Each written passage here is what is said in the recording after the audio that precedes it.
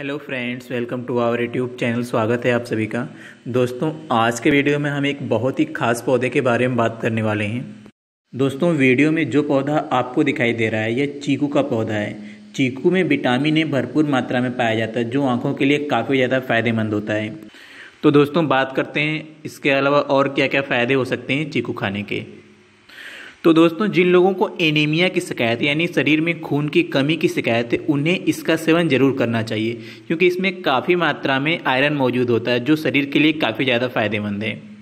इसके अलावा दोस्तों, चीकू में ग्लूकोज पाया जाता है, जो शरीर को तुरंत एनर्जी देने का कार्य करता है। जो लोग एक्सरसाइज करते हैं या जो लोग बॉडी बिल्डिंग का शौक है, वो इसका सेवन ज़रूर करें।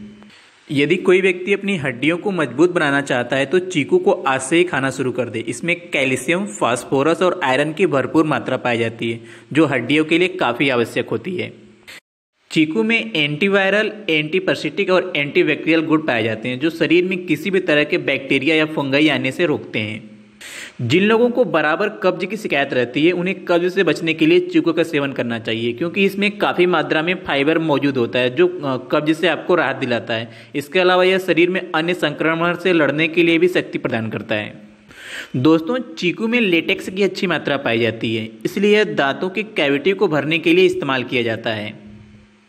दोस्तों, जिन लोगों को पथरी की समस्या है, उन्हें चीकू के फल से बीज को पीस कर खाने से गुर्दे की पथरी, यूरिन के रास्ते, यानी पेशाब के मास्त्रे बाहर निकल जाती है। साथ ही यह गुर्दे के रोगों को भी काफ़ी रक्षा करती है।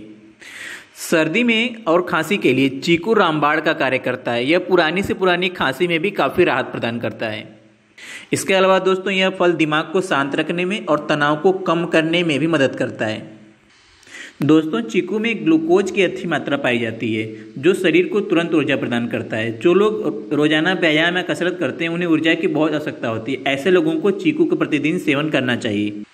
कार्बोहाइड्रेट और न्यूट्रिएंट से भरपूर चीकू गर्भावस्था के दौरान बहुत लाभदायक होता है। इसके अलावा स्तनपान करने वाली महिलाओं के लिए भी यह विशेष लाभकारी होता है। इससे शरीर में कमज़ोरी दूर होती है, जी मिचलाना और चक्कर आने जैसी समस्याओं से भी बचाव होता है।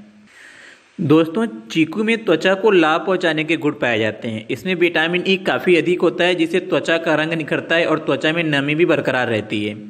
तो दोस्तों, आज के वीडियो में सिर्फ़ इतना ही। उम्मीद करता हूँ, इस वीडियो में मैंने आपको बहुत सारी नई जानकारी दी है। अगर यह वीडियो आपको अच्छा लगा हो तो अपने दोस्तों और परिवार के लोगों के साथ ज़रूर शेयर करें। अगर आप इस चैनल पर नए हैं तो चैनल को सब्सक्राइब करें और वीडियो को लाइक करना ना भूलें। Thank you for watching video thank you very much